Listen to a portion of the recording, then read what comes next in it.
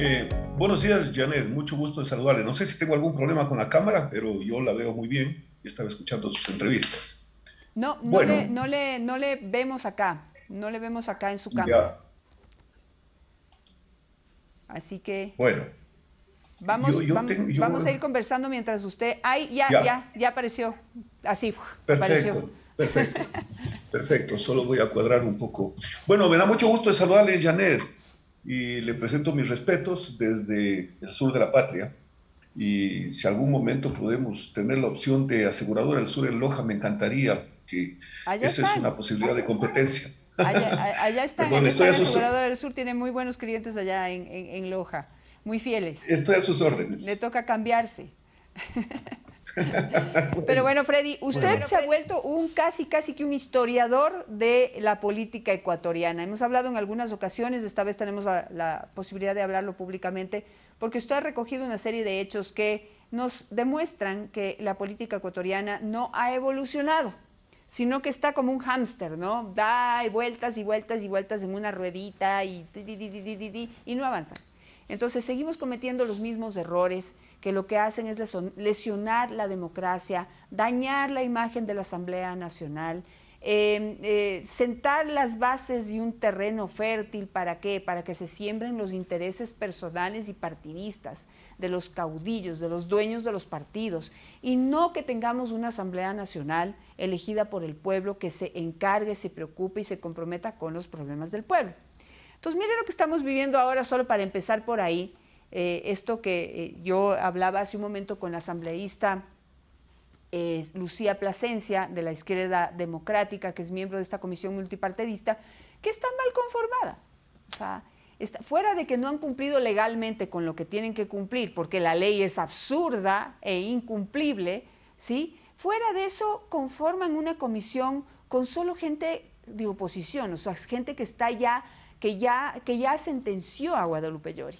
¿Cómo creerles? O sea, que, dicen que se van a tomar 30 días, 30 días, ¿para qué? Que son 30 días más de, parálisis en esa Asamblea Nacional para un proceso que lo único que es es un show, otra payasada más. ¿Qué dice usted? Bueno, eh, han pasado 2.927 años y, y, la práctica de Barrabás como pedagogía para apartarse de la ley y hablar de legalidad está presente. Eh, ¿A quién queréis que dé la libertad? Le preguntó Pilatos y el pueblo enardecido, esa turba, dijo a Barrabás. Hoy nos ha hablado la asambleísta a la que usted hace referencia de la legalidad, de la ley. Es que ese es el problema. El asambleísta no necesita ser abogado para estar cerca de un doctrinante. Hay que hablar desde el derecho porque la ley es apenas el resultado de componendas, de grupos, de bloques, de jefes, etc. Así que esa ley, más lo que usted anuncia, y lo hace con precisión, no hace otra cosa que ponernos en el escenario donde vemos que se repite con exactitud. 1985, el presidente Félix Cordero fue secuestrado y el Congreso Nacional preparaba una, una moción, una resolución para que asuma el vicepresidente que habría sido fatal para el señor Febres Cordero, con quien no tengo ninguna simpatía. Pero luego de eso, ellos entendieron que desde el Congreso se puede gobernar y se puede chantajear y sitiar a un presidente. Lo hicieron con el presidente Borja. El año 1990, Janet, usted recuerda que con eh, la designación del señor Averroes Bucarán pretendía tomarse las cortes para enjuiciar penalmente al señor Borja, porque lo anunció el señor Arrobadito, de que su hermano vendía tanques de guerra y, vehículos militares. Usted lo recuerda. Pretendían tomarse la corte, el Tribunal Supremo Electoral, para descartar candidatos como era el presidente Sixto Durán Ballén, precandidato a la época. Como ya no era de ellos, entonces ahora no eres de nadie y ahora vamos nosotros solos en la tendencia. Pretendían tomarse el Tribunal de Garantías Constitucionales. Todo exactamente como hoy apuntan. La legisladora Plasencia ha dicho una cosa que es espectacular. Nosotros no hemos anticipado nada, pero por último, si es que nos ven ilegitimidad, nacimos de la voluntad de la mayoría. La mayoría sentenció a Jesucristo a muerte. Los votos no dan legitimidad, solo dan mayoría para un tema coyuntural y de esos hay muchos casos en la historia. Pero hoy el objetivo ya no es la señora Llori. El objetivo es el Consejo de Participación Ciudadana, que es una especie de careta para que haga lo que antes hacía el Congreso. Por esta sola vez destituyamos a los jueces y nombremos nuevos jueces. Por esta última vez hagámoslo. Luego de que una consulta popular dijo que no podían nunca más elegir a magistrados de la Corte Suprema, Janet. Así es, eso, eso fue lo que al final le dije a, la asambleísta Lucía Plasencia y que realmente quisiera, quisiera, eh, quisiera que en mi conciencia esté, ¿para qué dijiste eso si te vas a equivocar? Te vas a equivocar y vas a quedar mal, pero lamentablemente mi conciencia me dice lo contrario y me anticipa de que vamos a estar en lo correcto porque no hay que, no hay que ser tampoco tan gurú ni tan experto en el análisis político para saber lo que va a suceder porque se ha repetido tantas veces que ya sabemos lo que va a pasar. Entonces le decía al asambleísta Plasencia que se va a prestar, se va a prestar para un show que finalmente va a terminar destituyendo a la Yori, no para trabajar por el país, no para que se sienten los asambleístas a trabajar por el país, sino para satisfacer los oscuros intereses de dos grupos políticos que buscan, por un lado, tener una comisión de la verdad para certificar la impunidad y por otro lado también hacerse del Consejo de Participación Ciudadana del control para poder controlar principalmente la joya de la corona, la Contraloría General del Estado. Ahí es donde están todos los procesos y las glosas que les tienen así, temblando, sobre todo después de que Polit está en los Estados Unidos a punto de cantar todo lo que han hecho. Por eso es la velocidad con la que actúa. Y no es que se va a, no ya sé. Es decir, ya a su partido político, incluso a la señora legisladora, le ha dicho usted no me representa. ¿Qué dice la historia del derecho parlamentario en su funcionalidad? Que los bloques tienen integrantes y que para las comisiones integrantes del bloque llevan la vocería de los bloques y de los partidos, de sus dirigentes, de sus conciencias y de su filosofía e ideología, si es que la tienen. Pero eso dice la norma. Entonces, decir yo represento y ya me toca no es justificativo. Es más clara la evidencia de que quienes están detrás de la cortina, designan bajo condiciones. A ver, tú eres de este partido, jamás te van a designar. Yo te designo, pero eso sí, si yo te designo, respondes a mí. O veamos lo que pasaba, por ejemplo, en la conformación del Tribunal Supremo Electoral tradicionalmente. Designaban a gente de otro partido eh, coludidos con los interesados. Así que eso ya va a ocurrir. Eso ya, va, eso ya está planificado. Fíjese usted que hay una práctica, y a propósito de lo que usted dijo del Contralor, la velocidad es porque el 4 de mayo, si no estoy en un error en la fecha, el señor Poli estará en el proceso diciendo que él fue reclutado porque él respondía a otro partido político. Pero cuando ya llegó es como cuando a un adolescente lo capturan las FARC. Dijo, no, ahora tú vas a hacer esto. Y claro, reclutado, actuó. Usted tuvo la, la, bondad de entrevistarme varias veces, Janet. Yo le presenté las glosas que había dado de, boja, baja el señor, el señor Polit, ¿no? Las glosas de Odebrecht.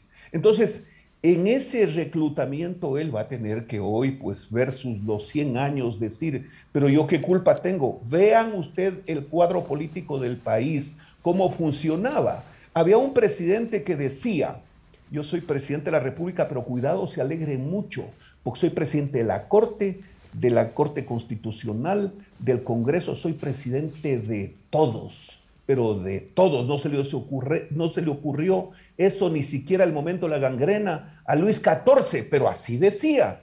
Entonces este rato están apuraditos porque como han habido operativos, como parece que a alguien que le revocaron lo dejaron ingresar y no lo dejan salir, entonces ahí viene el tema de las glosas que es, pero no solo ese, pues, van atrás de la fiscalía, pero no solo de la fiscalía.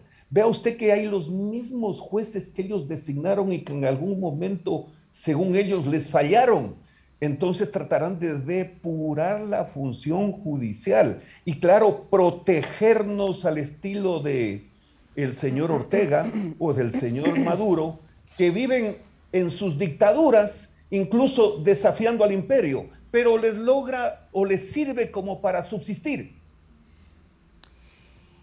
A todo esto, y, descrita muy bien la situación y el futuro que nos espera, eh, que no es más sino un reflejo y un espejo del pasado que siempre hemos tenido, una, Asamblea Nacional que la, verdad nunca se ha preocupado por, por aportar para eh, el desarrollo del país, sino que tiene siempre estos intereses particulares como prioridad. Pero creo que estamos en un momento, mm, digamos, eh, como sin salida. Eh, y eso creo que nunca antes ha sucedido. Siempre ha habido como una puertita por ahí que uno dice, por ahí se van a salir. Pero aquí yo no sé, el gobierno está como atrapado. Eh, de su experiencia y de la historia, no sé qué dice, qué, debería hacer el gobierno en este momento, cómo, cómo ve la situación del gobierno, en qué lugar está parado. Como están buscando gente de los otros bloques desde la oposición, segunda vez que eso ocurre porque en 1993 el Partido Social Cristiano le sacó un diputado al gobierno, un diputado de la bancada gobernista, el señor Fantoni, Faitón, Faitón de la provincia de Los Ríos. Hoy están buscando los demás bloques. Yo diría, Janet, y no es que quiero contradecir con usted, eh, todo lo contrario, pero diría que hoy más que nunca hay una puerta del tamaño de un estadio abierto. El artículo 148 de la Constitución lo elaboró Correa pensando en que en darle permisito a los ecuatorianos de que él se va a ausentar por unos días, por un tiempo, pero dejó ahí el artículo 148 que dice que a solo juicio del presidente puede mandar a su casa al Congreso, a la Asamblea. Eso lo querían hacer con el señor Lenin Moreno, pues para que lo asuma el sucesor y el sucesor convoque a una asamblea constituyente y esa asamblea constituyente destrabe lo que el país dijo respecto de, de solo dos periodos y perennizarse. Vea usted que el señor Correa acaba de decir en Honduras, donde ya hoy está prohibido de, de ingresar, porque ya no podrá salir fácilmente, pero además le han prohibido ingresar. Le dijo a la señora Yomara Castro, le dijo, ¿sabes qué? Mi error fue entregar el poder no hay que entregarlo jamás.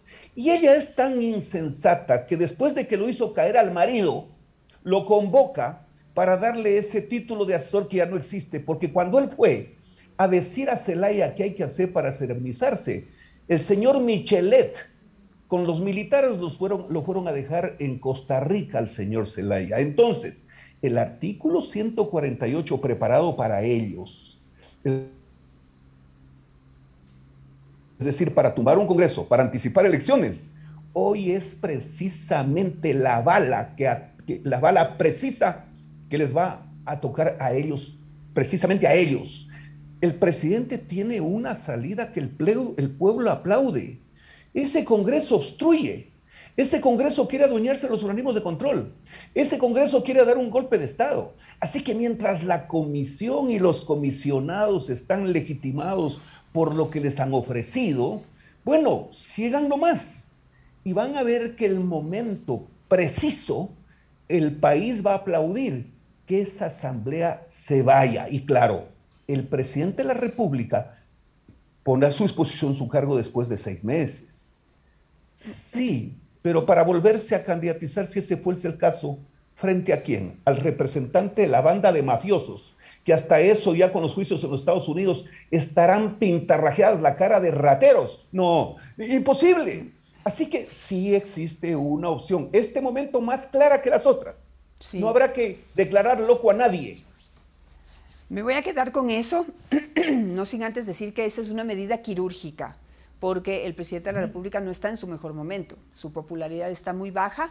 Sin embargo, coincido con usted que en este momento las cosas tal y como están, una muerte cruzada es una mejor opción que una consulta popular, que igual, como siempre, ¿no? Una consulta popular se convierte en un plebiscito para el mandatario del momento, más no para resolver los problemas de fondo que tiene el Ecuador, que hay que, si hay que hacer reformas, tienen que ser en otra, en otra modalidad, en otro, en otro, en otro proceso, en otro sistema, como, como digo, en otro momento, que realmente se legitime mucho más y haya mucho más conciencia. Pero eso no está sucediendo y sería la muerte cruzada ahorita el mejor momento, pero una medida quirúrgica, porque tenían que, tendrían que las piezas moverse y colocarse casi, casi que, pues, así estratégicamente y de manera precisa, como por ejemplo lo que pudiera aportar Polit para deslegitimar y también eh, sacar del tablero de, la competencia a estos políticos que tienen mucho que eh, explicar y todavía muchas deudas pendientes y quieren volver a candidatizarse. Polit y SAP, a propósito de quirúrgico, no está precisamente este momento el presidente en el mejor hospital del mundo, sí, pero puede estar como aquel médico que se accidenta con un amigo porque se le quedó atravesada en la garganta una pepa de luma o de aguacate y ve el cuchillo más cercano y le abre la tráquea y le saca y le permite respirar. Así que no hay problema, porque inmediatamente ese médico se convierte en una especie de referente del mundo. Y el presidente con una medida de a esta banda de pillastres que tienen en la asamblea comprada la gente, lo va a aplaudir. Lo va a aplaudir. Eso, esa es una lectura desde el sur de la patria, aquí donde se escribió la primera novela en, en 1938, La Emancipada, que es un insumo extraordinario de la defensa de la mujer. Buenos días, Jané, qué gusto saludarle a usted. Gracias, Freddy. Con eso me voy a quedar y pues eh, con eso espero que la gente le sirvan todos estos insumos para reflexionar sobre lo que es la clase política en nuestro país. Y no solamente para quejarnos, sino también para ver cómo nosotros podemos aportar. Podemos hacer mucho para que este país cambie y los políticos empiecen a hacer lo correcto. Empezando por este, pensar mucho mejor su voto. Evalúe, evalúe qué es lo que están haciendo esas personas a las que usted le, dio ese valioso, ese valioso apoyo. Ese voto no es cualquier cosa, ese voto los tiene ahí. ¿Haciendo qué? Esa es la pregunta. Si están cumpliendo lo que ofrecieron o si están trabajando por lo que usted necesita, eso es lo que uno tiene que pensar para que no le vuelva a suceder. La próxima, pues que vayamos a las urnas, usted tiene que pensar mucho mejor ese voto. Eso es solo como un elemento de los tantos que debemos reflexionar por la situación que estamos viviendo actualmente.